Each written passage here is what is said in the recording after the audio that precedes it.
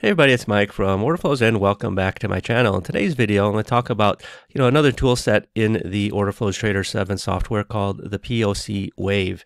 And the POC Wave is a three bar setup looking at the point of controls over those three bars and how they um, appear in those three bars in relation to each other. Now, before I jump in, again, if you enjoy my videos, be sure to uh, hit the like button and subscribe to the channel if you haven't already. You know, you support really does go a long way in helping me uh, create more content for this channel. All right, so the POC wave, you know, I first uh, I wrote about the POC wave years ago. I think around 20. I had it in a course in 20. Um, I think it was 2017 or no 2018 um, when I cr- created the order flows uh, point of control trading course. And actually, I had this years ago. I, I thought I was going to uh, program my stuff for Sierra charts. I had uh, some guy program this for me on Sierra charts. So, you know, it's sort of been on the back burner. And I, I wrote about it, but I never bothered with, with it for NinjaTrader for some reason because I, I, thought you know it should be very visual for people to see. And then uh, you know, just over the past year, people have been telling me, yeah, you know, the POC wave, I, I use it um, you know, in, in, this market and, and on this type of chart, and it, it works fantastic. So, you know, I said, oh, hey, you know, I should put it in, I should actually have it in my software. Um, that's why we, we've added it in, in the latest version of the Order Flows Trader software. So let me just uh, add it onto the chart here.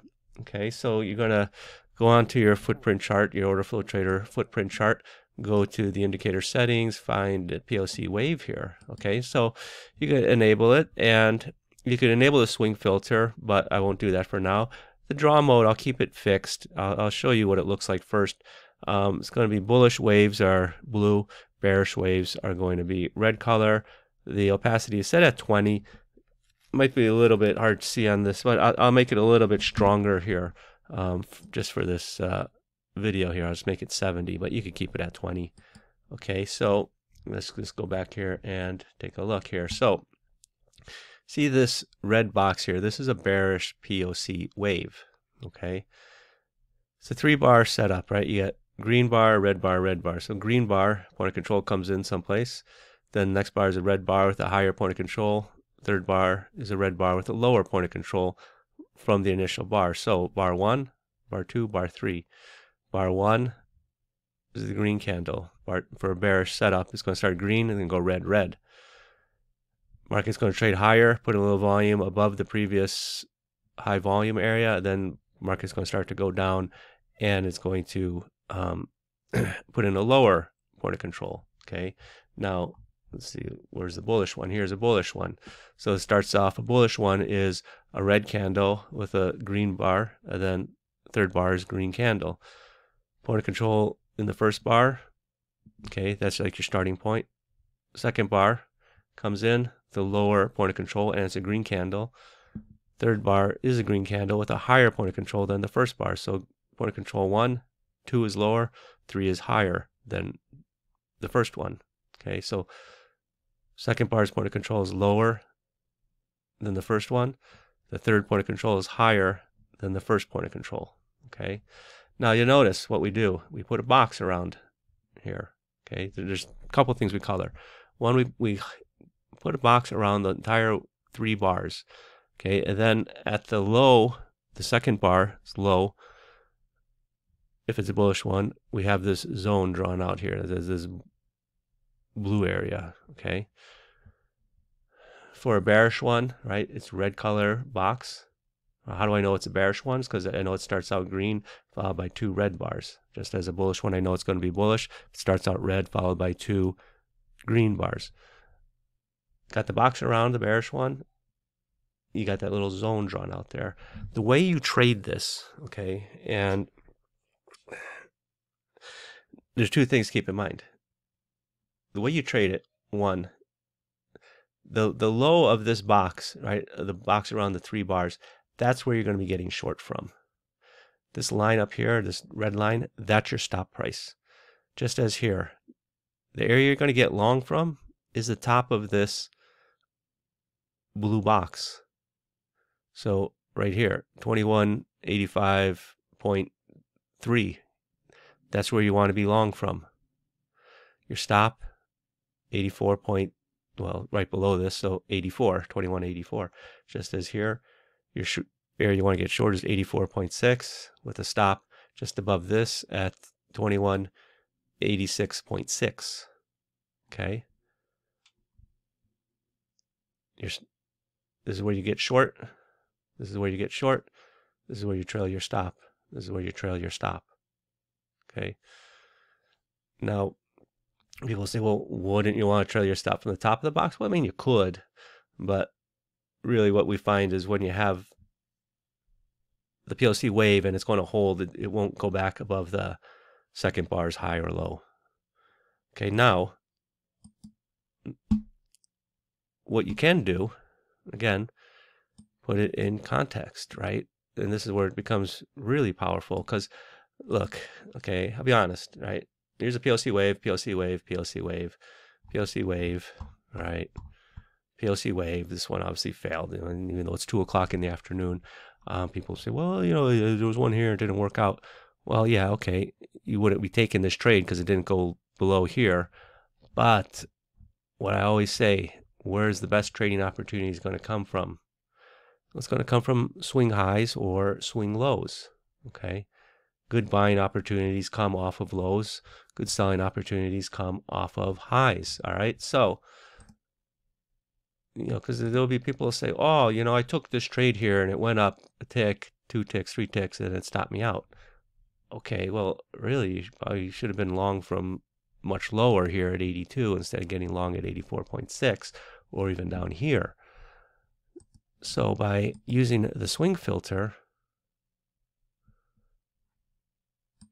okay, where are we here? POC wave.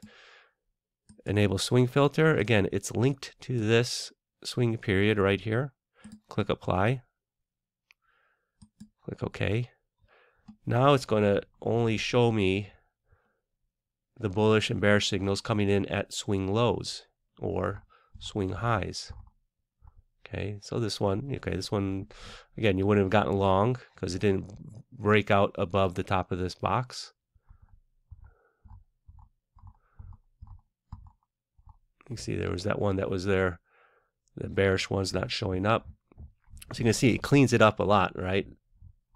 And it's giving you, in my opinion, much higher percentage trades that have, you know, more capacity to run you know, from a swing high here, you know, we're talking 78, 2178 down to 75 there.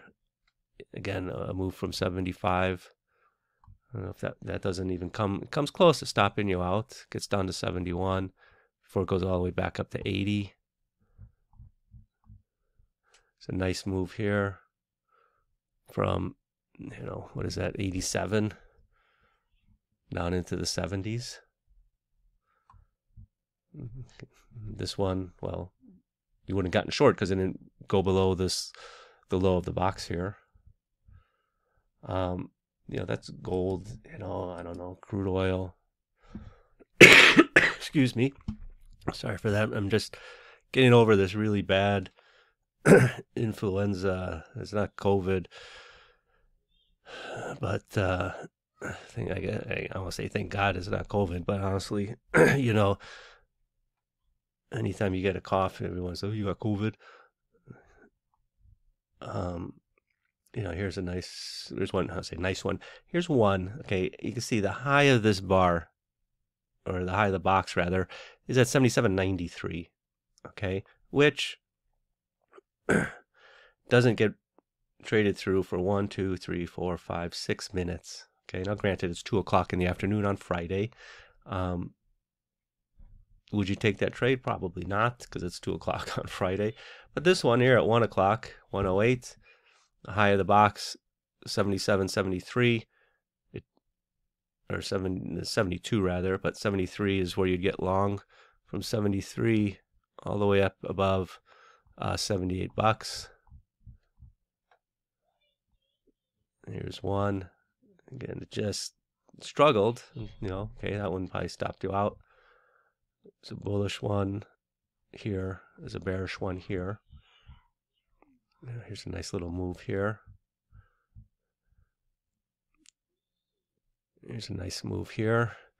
But really on Friday, if you remember, the the big move in crude came uh, came overnight. It's really really hard to see on a time based chart, but uh, let's let's put this on a range based chart.